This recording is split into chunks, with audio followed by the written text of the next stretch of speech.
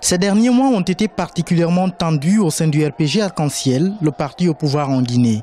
Depuis sa victoire à l'élection présidentielle de 2015, la formation politique dirigée par le président Alpha Condé est confrontée à de multiples crises internes.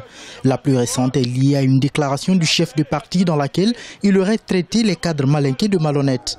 Selon le responsable du parti dans la région de Cancan, fief principal du RPG, cette déclaration n'est que le fruit d'une manipulation des propos du président. La dite déclaration a passé en direct au moment où le discours se tenait. La surprise est venue euh, euh, quand nous avons appris que le président a insulté les Malinqués.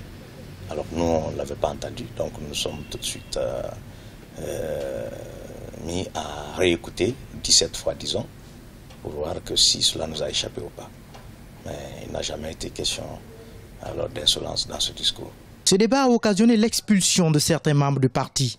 Le rassemblement du peuple de Guinée n'est pas épargné par les crises de leadership qui font parfois parler de lui.